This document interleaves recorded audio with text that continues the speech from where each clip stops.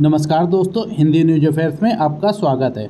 दोस्तों, भारत में विधानसभा के चुनाव होने जा रहे हैं दो जगह पे, एक जम्मू एंड कश्मीर में और दूसरा हरियाणा में। बता दें आपको कि पहले ये चुनाव एक अक्टूबर को होने वाले थे। इलेक्शन यानी कि जो वोटिंग का डेट है, वो एक अक्टूबर होने वाला था, लेकिन अब इसको बढ़ा दिया गया है और अब ये पाँच अक्टूबर को इसका वोटिंग होगी। और इसके जो पहले चुनाव के रिज़ल्ट आने थे, वो चार अक्टूबर को आने थे, जो अब बढ़ाकर आठ अक्टूबर कर दिया गया। यानी कि पाँच अक्टूबर को वोटिंग होगी और उसका रिज़ल्ट आठ अक्टूबर को आ जाएगा।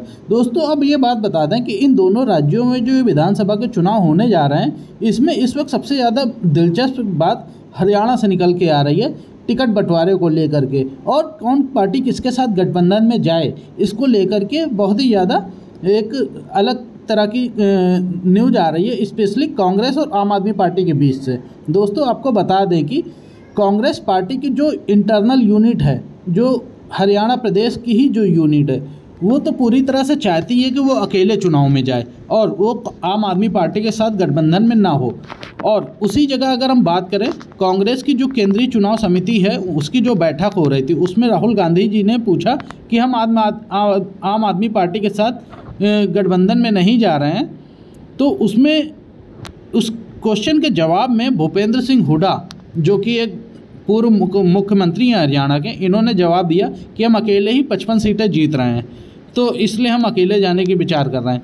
तो राहुल गांधी जी ने ये बोला कि मैं आपको अपना निर्णय नहीं बता रहा हूँ, आपके ऊपर कुछ थोप नहीं रहा हूँ, लेकिन हमें विचार करना चाहिए आम आदमी पार्टी के बारे में।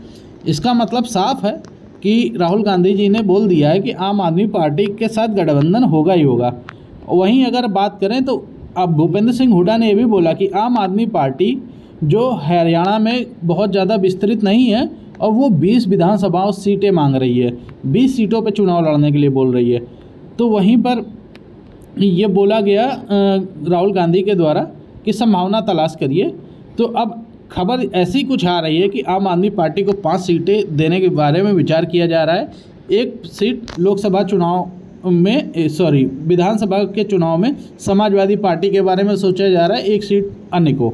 तो इसी तरह सात सीटों पे दूसरी पार्टियों को दिया जा रहा है और तिरासी सीटों के बारे में विचार हो रहा है कि कांग्रेस पार्टी चुनाव में लड़ेगी। अब दोस्तों, इनका ये कहना है कि हम इंडिया गठबंधन को साथ में लेकर चलना चाहते हैं। अब एक चीज़ ये समझने वाली बात है कि ये कैसे इंडिया का गठबंधन है, जो एक राज्य में तो गठबंधन बनता है, दूसरे राज्य में अपोजिशन में आके खड़े हो जाते हैं। अगर हम लोग देखें पंजाब में तो वहाँ तो आम आदमी पार्टी सत्ता में है और कांग्रेस वहाँ पर विपक्ष में बैठी हुई है। वहीं हरियाणा की बात करें तो यहाँ पे एक गठबंधन में चुनाव लड़ने के बारे में सोच रहे हैं, ये आगे जा भी सकते हैं। और अगर वहीं लोकसभा चुनाव की बात करें तो कहीं पर साथ में लड़े, कहीं अलग लड़े। ये बिल्कुल अलग तरीके की राजनीति है। ये जनता को पता नहीं क्या इस तरह के राजनेता क्या सोचते हैं कि जनता क्या इन लोगों को समझती नहीं है। वहीं अगर भारतीय जनता पार्टी की बात करें तो भारतीय जनता पार्टी भी अभी गठबंधन के बारे में तो कुछ ऐसा सामने नहीं दिख रहा है, लेकिन अगर पार्टी तोड़ने के बारे में देखा जाए तो जेजेपी, जो दुष्यंत चौटाला जी की पार्टी है, उनके पास दस विधायक थे। उसमें से इन्होंने छः सात तो तोड़ कर रख लिए अपने पास। अब उनके पास सिर्फ़ तीन विधायक बचे हैं, यानी कि माँ बेटे खुद विधायक हैं और एक अन्य विधायक बचे हुए हैं। तो उनकी पार्टी तो लगभग इन्होंने पूरी खत्म कर दी है। अब दोस्तों, भारतीय जनता पार्टी के पास भी एक बहुत बड़ी समस्या है। इनके खुद अंदर के जो इनकी अंतर कला है। ये बहुत बड़ी समस्या है। दूसरी चीज़ एक दस साल से यहाँ पे शासन है भारतीय जनता पार्टी का। उसकी वजह से एंटी इनकम्बेंसी भी भारतीय जनता पार्टी के खिलाफ बहुत ज़्यादा है। तो अगर एंटी इनकम्बेंसी के साथ लड़ना और अंतर अंतर कला भी है साथ में तो ये पार्टी के लिए कहीं से भी अच्छा नहीं है। जब चुनाव बिल्कुल सर पर हों। ये समझ लीजिए कि चुनाव को एक महीने भी नहीं बचे हुए हैं। तो अब इस तरह किस, के समय में ये बिल्कुल भी ठीक नहीं है। यहाँ तक कि जो ये मुख्यमंत्री हैं नवाब नायब सिंह सैनी। अब ये समझ लीजिए कि इनको भी अपनी सीट बदलनी पड़ गई है और ये जब से चुनाव लड़ रहे हैं, ये चौथी जगह है इनकी सीट बदली गई है। अब ये सो सोचिए कि मुख्यमंत्री को सीट बदलनी पड़ रही है, अन्य लोगों को टिकट भी कट गए हैं, कुछ लोगों के, कुछ की सीट बदली गई है तो ये सारी चीज़ें मतलब मैसेज अच्छा नहीं दे रही हैं कार्यकर्ताओं के बीच में। और दूसरी चीज़, भारतीय जनता पार्टी में एक चीज़ और भी बहुत देखी गई है। लोकसभा चुनाव में हालाँकि उसका इन्होंने नुकसान भी उठाया था कि ये बाहर से दूसरे पार्टियों के नेताओं को अपने यहाँ ले लेते हैं, फिर उनको टिकट दे देते हैं। मतलब अपने जो कार्यकर्ता हैं, उनकी एक पूरी तरह से अनदेखी कर देते हैं, जो कहीं ना कहीं इनको नुकसान भी देती है। लेकिन भारतीय जनता पार्टी कोई चीज़ कर रही है, क्यों कर रही है, उसके रिज़ल्ट भी जबकि सही नहीं आ रहे हैं।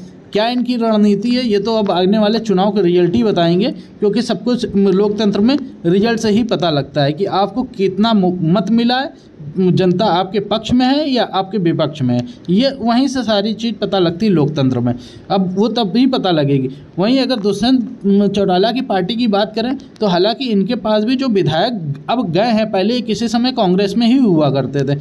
आपको एक बात और बता दें भारतीय जनता पार्टी के बारे में। भारतीय जनता पार्टी के साथ एक समस्या ये भी है कि अभी 2014 से पहले भारतीय जनता पार्टी कभी भी अपने दम पर डबल डिजिट में नहीं आ पाई थी हरियाणा में। हरियाणा में नब्बे सीटें हैं। बहुमत वहाँ पे लाने के लिए छियालीस सीटें चाहिए होती हैं। अभी अगर पिछले चुनाव की बात करें तो भारतीय जनता पार्टी की ही सरकार बनी। हालाँकि वो पूरी पूर्ण बहुमत से नहीं थी। उससे पहले जो सरकार बनी थी, वो पूर्ण बहुमत वाली सरकार थी। दूसरा जो टर्म आया, उसमें पूरी सीटें नहीं थी तो दुष्यंत चौटाला जी ने अपना समर्थन दिया था इस पार्टी को, भारतीय जनता पार्टी को दोनों ने मिलकर के सरकार को बना लिया था। और सरकार ठीक ठाक चल भी रही थी और अभी भी चल रही है। अब तो पूरा टर्म कंप्लीट होने वाला है। बीच में इन्हों इन्होंने एक चीज़ और करी थी भारतीय जनता पार्टी ने, कि हरियाणा के पहले मुख्यमंत्री हुआ करते थे मनोहर लाल खट्टर।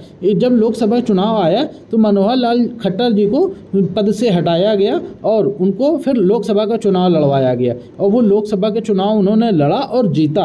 आज वो बहुत ही अच्छे से अपना कार्य को कर रहे हैं, वो केंद्र की राजनीति अब करने लगे हैं। राज्य में तो फ़िलहाल अभी उनकी सक्रियता नहीं है। अब दोस्तों, बात यह है कि ये तो कांग्रेस पार्टी की अब बात अगर करें तो कांग्रेस पार्टी में भी अंतर कला कम नहीं है। वहीं अगर हम देखें, विधानसभा में भूपेंद्र सिंह हुड्डा एक मुख्यमंत्री पद के लिए दावेदार हैं। दूसरी तरफ़ अगर बात करें कुमारी सैलजा कुमारी सैलजा जो केंद्र में पहले मंत्री भी रह चुकी हैं, इस बार भी वो चुनाव जीत गई हैं लोकसभा का। तो एक ये भी अपने आप को मज़बूत कैंडिडेट की तरह आगे देखते हैं। उसके बाद दीपेंद्र सिंह हुड्डा, जो कि खुद ही एक हरियाणा से आते हैं, और अपने आप को माफ़ करिएगा, रणदीप सुरजेवाला। दीपेंद्र सिंह हुड्डा नहीं, रणदीप सुरजेवाला, ये खुद हरियाणा से आते हैं, और ये अपने आप को बहुत ही मतलब मज़बूत नेता के रूप में प्रस्तुत करते हैं आगे से, और ये थोड़ा सा विश्वसनीय भी माने जाते हैं राहुल गांधी के। राहुल गांधी के साथ इनकी करीबी ज़्यादा है।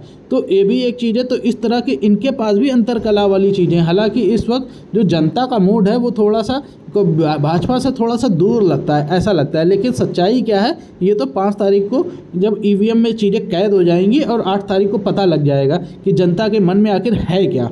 वो भारतीय जनता पार्टी के साथ हैं या भारतीय जनता पार्टी के खिलाफ हैं।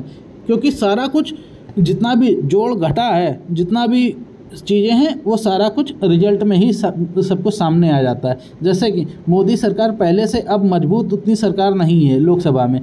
तो ये अगर हमें पता लगा तो ये लोकतंत्र में सबसे अच्छी चीज़ है रिज़ल्ट तो चुनाव का जब रिज़ल्ट आया तो हमें पता लग गया 240 सीटें हैं। हालाँकि 240 सीटें भी बहुत ज़्यादा होती हैं, लेकिन अगर मोदी सरकार की पहले दो टर्म की सरकारों को देखें तो ये हमको ऐसा महसूस कराती है कि ये बहुत ही कमज़ोर सरकार है और इनको घटक दलों की साथ लेना पड़ रहा है। हालाँकि घटक दल पहले भी थे, लेकिन पहले मोदी सरकार खुद में पूर्ण बहुमत की सरकार में थी। तो बाद में उसके बाद घटक दलों को अपने साथ में लेकर आए थे, लेकिन इस बार ऐसा नहीं है। ये मेजोरिटी से 22 सीटें, बत्तीस सीटें कम रह गए हैं। अब ये बत्तीस सीटों का जो फिल किया जा रहा है ये बहुत ही ज़्यादा दिक्कत के साथ फिल किया जा रहा है, ये घटक दलों के साथ फिल किया जा रहा है। इसलिए शायद मोदी सरकार पूरे अपने कार्यकाल में उतने अच्छे से फैसले नहीं ले पाएगी जो कि पहले ले रही थी। लेकिन ये कहीं ना कहीं लोकतंत्र के लिए भी सही है कि कोई भी सरकार हो, वो निरंकुश ना हो जाए। इसलिए उस पर कुछ अंकुश लगाने के लिए कुछ ऐसी चीज़ें होनी चाहिए, जो कि इस वक्त केंद्र में देखा जाए तो जेडीयू की नीतीश वाली सरकार नीतीश की पार्टी, जेडीयू है और उधर तेलुगु देशम पार्टी है, जो चंद्रबाबू नायडू की पार्टी है। हम लोगों को इसका रूप, एक, इसका जो नमूना है, ये जब लोकसभा बजट पेश किया गया था तो वहाँ पे देखने को मिला था। कहीं ना कहीं बिहार और आंध्र, आंध्रा को एक स्पेशल तरीके से ट्रीट किया गया बजट में और वहीं दूसरे अन्य राज्यों को कमज़ोर, उतना मतलब इंटरटेन नहीं किया गया जितना करना चाहिए था। खास करके अगर हम यूपी की बात करें यूपी ने अकेले भारतीय जनता पार्टी को अच्छी खासी सीटें दी हैं। ये समझ लीजिए करीब पैंतीस सीटें दी हैं। अब भारतीय जनता पार्टी ने एनडीए को अच्छी खासी सीटें तो दे दी, कोई कम कम सीटें नहीं दी हैं फोर्टी थ्री सीट्स कम नहीं होती हैं। तो अब ये पहले की तुलना में बहुत कम है, लेकिन पहले की तुलना अगर आप करेंगे तो वो भी ठीक नहीं है, क्योंकि कहीं ना कहीं आपके कैंडिडेट देने में गड़बड़ी थी। आपने कुछ गलत तरीके से कमेंट पास कर दिए थे। कुछ ना कुछ आप अपने आप नैरेटिव को सही से जनता के सामने रख नहीं पाए। कमियाँ आपके अंदर भी थी, इसलिए भारतीय जनता पार्टी को लोगों ने कम स्वीकार किया। लेकिन उसके साथ ही अगर उत्तर प्रदेश को ये कुछ और देते तो आपको और भी ज़्यादा लाभ होने की संभावना थी। देखते हैं, हरियाणा में जैसे कि 10 लोकसभा की सीटें थी। 10 लोकसभा की सीटों में अच्छा खासा नुकसान हुआ, भारतीय जनता पार्टी को आधे पर आ गए।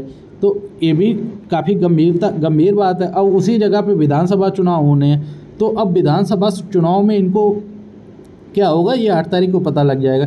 दोस्तों, अब बात थोड़ी सी कर लेते हैं जम्मू कश्मीर की। जम्मू कश्मीर में भी चुनाव होने, जम्मू कश्मीर में आपको बता दें कि 10 साल के बाद अब ये पहली बार चुनाव होने जा रहे हैं, क्योंकि अभी तक वहाँ पे लेफ्टिनेंट गवर्नर जो हैं एलजी साहब, मनोज सिन्हा जी, वो अभी सब कुछ देख रहे हैं। उनके अंडर में पूरा प्रदेश सारा कुछ चल रहा है वहाँ पे। अब वहाँ पे जो कांग्रेस का गठबंधन है, वो नेशनल कॉन्फ्रेंस के साथ है, फारूक अब्दुल्ला की पार्टी के साथ। अब फारूक अब्दुल्ला साफ़ साफ़ वहाँ पे ये बोल रहे हैं कि जब हमारी सरकार आएगी तो वो पाकिस्तान से बातचीत करना शुरू करेंगे। बातचीत को शुरुआत कर देंगे। धारा 370 जैसे कि पहले थी, वैसे ही रखेंगे, इसको रिस्टोर कर लिया जाएगा। मतलब यथास्थिति बना देंगे पहले वाली।